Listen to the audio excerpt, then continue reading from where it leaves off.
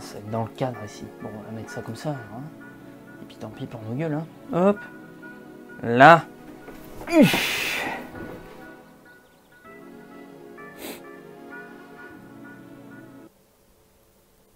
Oh Salut hein.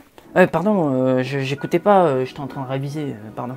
Vous étiez en train de m'appeler, mais je j'écoutais pas du coup. Bonjour, bienvenue pour Carrette, bonne année 2020 à ceux qui n'étaient pas là en fait depuis le début de l'année et qui tombent sur cette vidéo, bonne année, hein, voilà, ça c'est réglé. Alors, 2020, on va-t-il passer à la voiture électrique ou pas? Est-ce que le diesel va continuer à garder la cote Est-ce qu'on va encore continuer à garder nos voitures thermiques en 2020 Est-ce que le gouvernement va lâcher? Est-ce que la grève des gilets, la grève SNCF, les gilets jaunes, tout ça, est-ce que ça va s'arrêter? Merde En d'autres termes, aujourd'hui, on va parler des différentes prises électriques qui sont disponibles à la fois côté voiture, à la fois côté borne et à la fois côté les deux pour les voitures électriques. Parce qu'il y a différents types de prises. Bah ouais, ouais. Et ça, tu peux le choisir, à mon avis, au concessionnaire. Quand tu achètes la voiture ou que tu la loues. Parce que ça, ça coûte cher quand même. Les différents types de prises électriques. Bienvenue pour Carrette, c'est parti.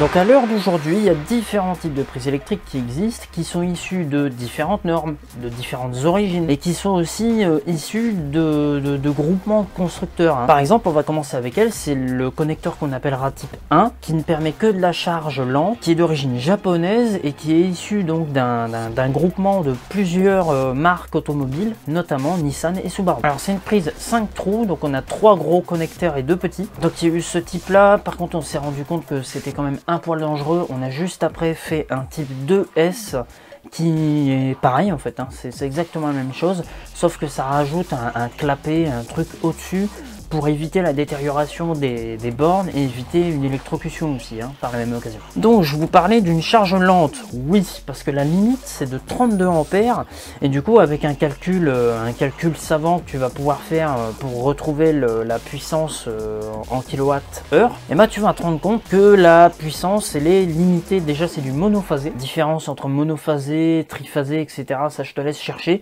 mais en tout cas tu seras limité à 7 kWh. Donc charge lente. Alors où est-ce qu'on pouvait retrouver ce type de prise là Ben à l'époque, sur le Kangoo Z2, hein, qui existe encore d'ailleurs, tu peux avoir cette prise là-dessus. La Peugeot Lyon aussi avait ce, ce type de prise. Les deux versions de Nissan Leaf qui sont sorties jusqu'à maintenant, quoique c'est bizarre quand même sur la nouvelle version de la Nissan Leaf d'encore avoir du type 1 ou du type 2S, puisque bah, aujourd'hui il y a euh, une prise qui existe, c'est la combo CCS hein, qu'on verra juste après. C'est bête, c'est plus moderne et ils veulent pas pour moi. Deuxième type de prise, la type 2 hein, tout simplement, qui là va pouvoir accepter selon la puissance qui va pouvoir être délivrée et acceptée par la voiture, à la fois de la charge lente et de la charge rapide. Donc là, on fait ces prises là depuis 2010, donc à la fois tu vas pouvoir recharger en courant continu et tu seras euh, limité à 50 kWh, sauf Tesla qui permet une recharge à 120 kWh avec leur superchargeur.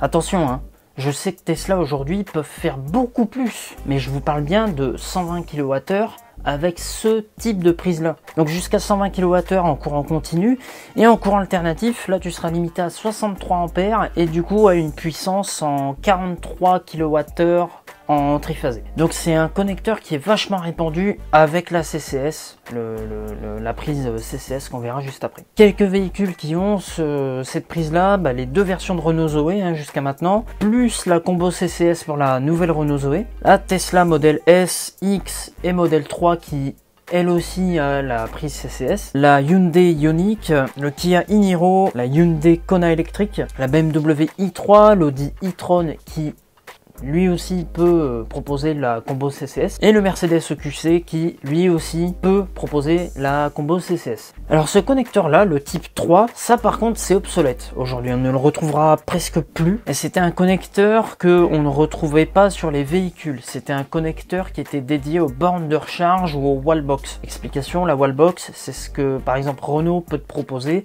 En fait c'est une borne si tu veux de recharge mais pour chez toi ou euh, tu un espèce de transformateur que tu peux brancher sur ta prise électrique chez toi hein, avec euh, une phase, un neutre et une terre, une prise classique que tu viens brancher avec le petit transformateur, etc. etc.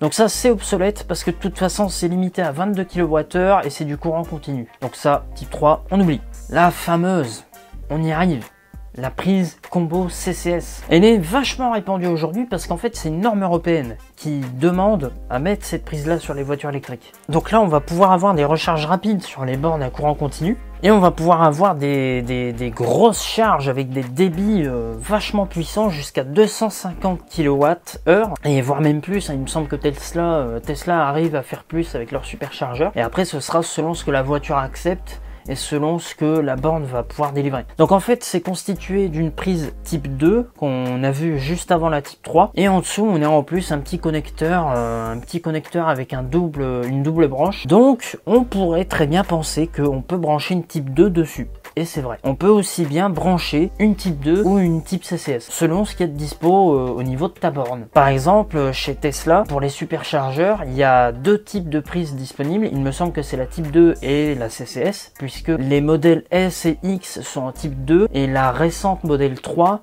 elle, elle est en combo CCS. Néanmoins, tu peux aussi brancher une type 2 sur ta modèle 3, mais la recharge sera un peu moins rapide. Bon, bien sûr, plus tard, quand les modèles S et modèles X seront renouvelés, elles seront équipées des prises CCS. Donc voilà, type 2, type CCS, c'est pareil, il y a juste deux branches en plus c'est pareil. Parce que la prise, elle va passer dans la, la, même forme. Ta type 2, en fait, elle a juste pas les deux, broches, en fait, en dessous.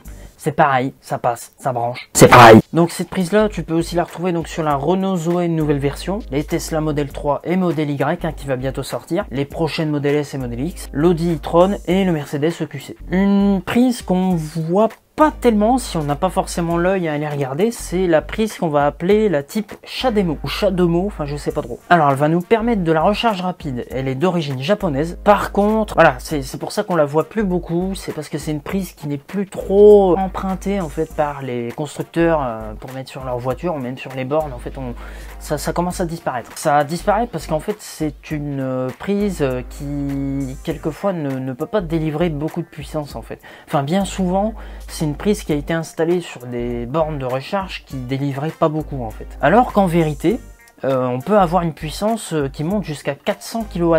Donc une recharge rapide, voire très rapide. C'est ici la plus rapide de tous. Donc ils ont fait trois versions en fait de cette prise, hein, tout simplement. Donc la 400 kWh, une 50 et une 150. Donc là, il faudra juste voir ce que votre voiture peut accepter et ce qu'elle a comme déclinaison. Hein. Cette prise-là, on pouvait la retrouver sur les deux versions de la Nissan Leaf, sur la Peugeot Lyon et sur le Kia Soul EV de première génération. Voilà, messieurs, dames, pour les différents types de prises électriques que tu pouvais retrouver soit sur la voiture, soit sur les bornes de recharge ou les deux. N'hésite pas à aller checker un petit peu le Facebook et l'Instagram de Carrette. Tout est ici et aussi dans la description. Il y a aussi l'adresse carretteabonné à gmail.com qui est ici et en bas dans la description. C'est simplement si tu veux m'envoyer un petit mail pour passer en essai euh, sur la chaîne. Et attention, hein, n'importe quel type de voiture, hein, que ce soit un vieux Peugeot 807 des familles, ou bien une Nissan euh, GTR euh, de fou furieux, de décalqué mental, je m'en fous, je prends tout. Hein, ou même un, Mercedes Vito, je m'embarrasse. Carrette abonné à gmail.com. Et puis abonne-toi à la chaîne si c'est pas déjà fait. Allez, je te laisse, bon après-midi, bonne soirée ou bonne journée, tout dépend quand est-ce que tu as regardé cette vidéo.